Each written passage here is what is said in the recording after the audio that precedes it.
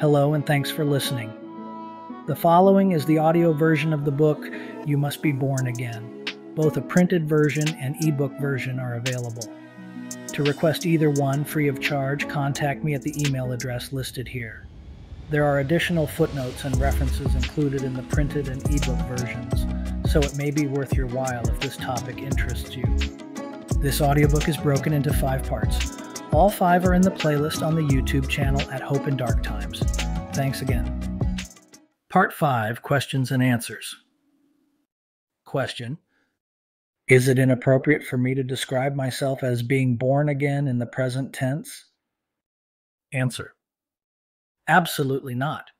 In fact, the Apostle Peter wrote, Blessed be the God and Father of our Lord Jesus Christ According to his great mercy, he has caused us to be born again to a living hope through the resurrection of Jesus Christ from the dead. 1 Peter 1 3. In this context, although we may use the term born again in the present tense, the main focus is on the hope we possess due to the resurrection of Christ from the dead. Speaking of things in the present tense, even when they are still in the future, is a common practice for God. This is because his promises are unwavering and infallible, making even the yet to be received promises as certain as if they were already fulfilled. A good example of this is Abraham.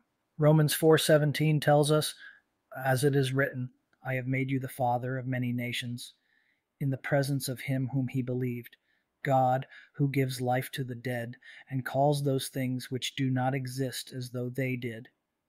God told Abraham, I have made you the father of many nations. Present tense. However, at the time this promise was made, Abraham remained childless. Interestingly, Paul appears to associate the fulfillment of this promise to Abraham with the concept of resurrection. Abraham wouldn't witness the emergence of the nation he was designated as the father of during his lifetime. He would have to await resurrection.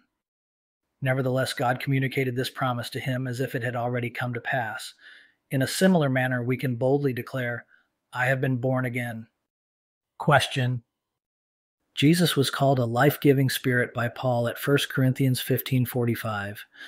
Didn't Jesus have a physical body? How can he have been a spirit if he were physical?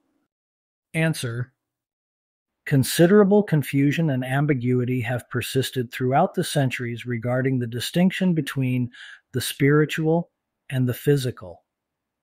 Many people tend to automatically associate the word spirit or spiritual with an ethereal, immaterial, and disembodied essence. This misconception is primarily rooted in heathen philosophies and religions rather than biblical teachings. Although the Bible does indeed discuss spirits, the Spirit of God, and the human spirit, its definition differs significantly from the popular misconception. For instance, the Spirit of God, though invisible to us, can manifest itself through tangible changes in the material world, as seen in the resurrection of Jesus by the Spirit of God, which is a hope for all believers, as stated in Romans 8:11. It can also indwell individuals and is often equated with God's mind or thoughts. This perspective is clearly illustrated in Paul's statement found in 1 Corinthians 2 11 through 12. For who knows a person's thoughts except the spirit of that person, which is in him? So also no one comprehends the thoughts of God except the Spirit of God. Now we have received not the Spirit of the world, but the Spirit who is from God, that we might understand the things freely given us by God. In this context, man's spirit as well is equated with his innermost mind or thoughts. This leads us to the concept of a spiritual body. While the Bible does mention this concept, some struggle to reconcile these two words. Paul employs the term spiritual body when referring to the transformation that occurred in Christ during his resurrection and the transformation we anticipate when Christ returns. It is sown a natural body, it is raised a spiritual body. If there is a natural body, there is also a spiritual body. 1 Corinthians 15:44. The crucial point for comprehension lies within the term spiritual body. Despite being spiritual in nature, it is still a corporeal body. Additional proof of Jesus possessing a physical body can be found in his own statements. Following his resurrection, when he abruptly appeared before his disciples, they were taken aback by the unexpected presence and initially believed they were seeing a ghost. In this situation, their concept of a spirit was evidently in line with the common contemporary understanding, referring to an immaterial and ethereal being. Nevertheless, Jesus dispelled their misconception by addressing them as recorded in Luke 24 38 through 39. Why are you troubled, and why do doubts arise in your hearts? See my hands and my feet, that it is I myself. Touch me and see. For a spirit does not have flesh and bones as you see that I have. Did the Apostle Paul contradict Jesus then by describing Jesus as a life giving spirit? Absolutely not. This is a matter of distinguishing between the non biblical concept of spiritual beings and what the Bible actually teaches about them.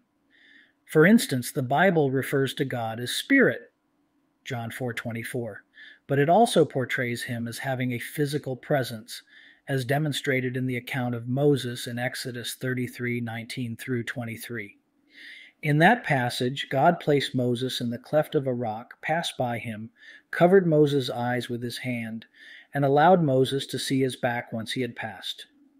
Additionally, in Genesis, it is stated that God created Adam and Eve in the image of God, a concept that would be nonsensical if God were an intangible and incorporeal being. A comprehensive explanation of this topic is beyond the scope of a brief response. However, it can be summarized by stating that a spiritual body is synonymous with an immortal body, a concept elucidated by the Apostle Paul in the 15th chapter of 1 Corinthians. On the other hand, a non spiritual body, also referred to as the natural body by Paul, is the body we currently possess. This natural body is mortal and subject to death. It deteriorates and decays because it relies solely on biological functions, and it is affected by the law of entropy that operates in the natural world. The solution to this degradation is to have a spiritual body that is not sustained by natural biological processes, but by the divine power of God. Question Is water baptism necessary for salvation? Answer In short, yes. Baptism in and of itself, however, does not provide the salvation. Instead, it's something that was commanded to be done by Jesus, was practiced by Jesus during his ministry, and was continued by his apostles. As water baptism was a command of Jesus his words apply.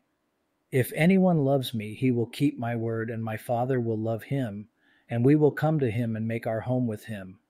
Whoever does not love me does not keep my words. And the word that you hear is not mine, but the Father's who sent me.